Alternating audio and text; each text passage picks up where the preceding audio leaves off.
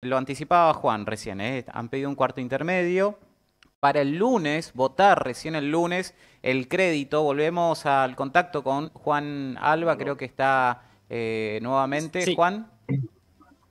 Sí, sí, aquí estamos a las afueras, Guillermo, de lo que está ocurriendo en la legislatura. Ustedes están compartiendo lo que está ocurriendo en el interior, allí debatiendo si se pasa o no se pasa para este cuarto intermedio para el día lunes. Estamos ahora con el diputado Karim Peche. Diputado, ¿cómo le va? Buen mediodía. Bueno, eh, se está debatiendo ahora. Y en este momento, si pasamos cuarto intermedio, el tema del crédito para el día lunes. Eh, bueno, el tema es que que sería bueno en cuarto medio si se va a encontrar una solución definitiva, una salida de acompañamiento a este pedido de crédito para el gobierno de la provincia. Así que bueno, yo por lo menos en lo que manifesté eh, antes de, salir acá, de que si hay un cuarto intermedio y, se va a tratar realmente el tema, bueno, esperemos el cuarto intermedio, digamos, ¿no? ojalá, que prime, ojalá que prime eh, eh, los intereses de los chaqueños que están por encima de cualquier cosa, porque en definitiva este es un problema de, que vamos a tener de luz de agua los chaqueños, y no un partido político ni un gobierno. Entonces, los que hoy están en la oposición tienen que hacerse cargo también que son responsables directos de este problema, porque gobernaron 16 años y no hicieron las inversiones que tenían que hacer.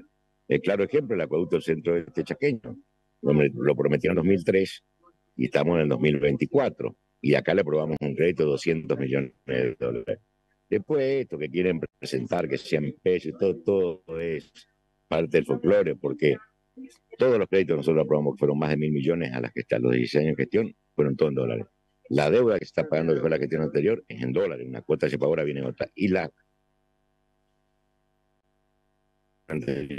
se paga en dólares. Entonces, toda excusa de no querer tratar el tema. Así que esperemos que el lunes se trate. ¿Cómo vio hoy la actitud? No, dialoga. Hay legisladores que, que, sí, que, se prestan al diálogo. Yo no voy a decir que todos eh, están cerrados. Seguramente algunos tendrán su postura, pero no, hay legisladores que quieren dialogar porque aparte entienden, porque aparte los intendentes, les decía el partido que sea, son el paragón inicial donde la gente va a plantear los problemas. Así, cuando no hay luz y agua, el, el primero que le van a reclamar, sea en la casa, en la calle, en la municipalidad, de, un partido político, no. Pero yo sí lo que le pido, la coherencia. Han testado las cosas después de gobernar 10 años, bueno, por lo menos que sean coherentes y que le den la herramienta al gobernador para que podamos eh, hacer comisiones, que, que sigan en qué se invierte la plata, esto me parece correcto, la transparencia tiene que estar al orden del día. Gracias por su No, gracias a usted muy Antes, antes que se vaya el diputado, Juan, ¿me escuchás? Sí, a ver, diputado. Sí, sí, sí, te estoy Una sola pregunta para, para porque bueno, empieza el, el poroteo. Ah, ahí te dejo en contacto, te está escuchando ya el diputado Guillermo. Doctor, doctor Peche, ¿cómo le va? Una sola consulta eh, que tiene que ver con el poroteo de votos. Digo, de los 32 votos, ¿cuánto necesitan para aprobar? votos. Siempre cuando hay solicitud de crédito se necesita mayoría, mayoría grabada, que son 22. 22. ¿Y cuántos tienen ustedes a hoy?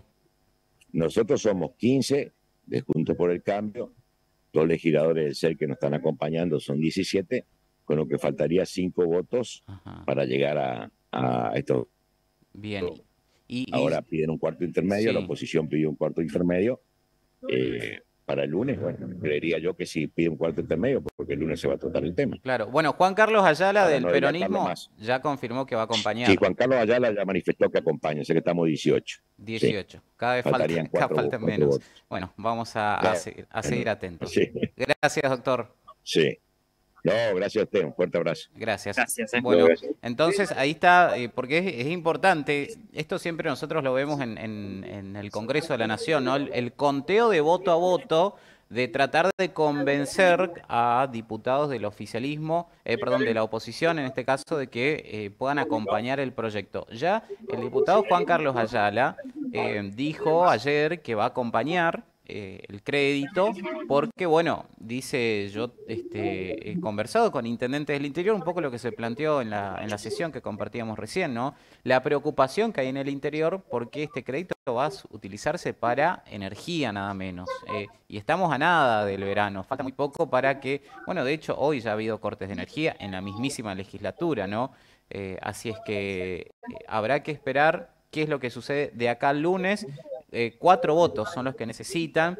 Suena el nombre de Bergia, suena el nombre de Oncheruk, suena el nombre de Guillón, los diputados del PJ que podrían eh, estar acompañando, pero bueno, eh, hay una negociación que se está dando indudablemente, ¿no, Juan?